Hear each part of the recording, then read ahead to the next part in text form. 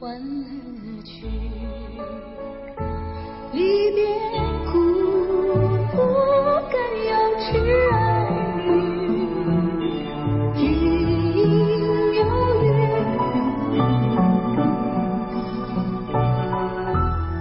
两万里流云。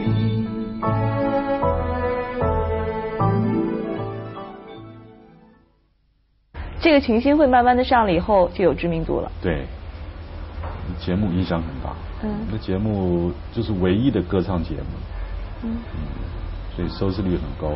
嗯，那演出就开始越来越多。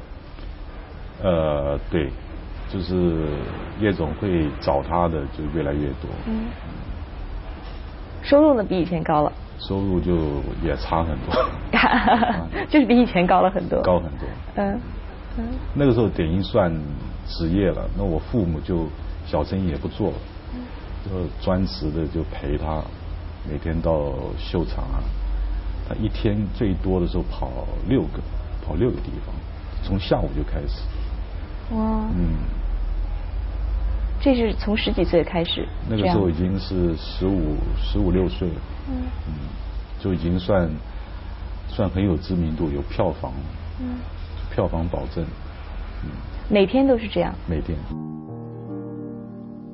除了出现在各种演出场合之外，邓丽君在她十四岁的时候就已经开始灌录唱片，只不过那时唱的还是各种民歌小调。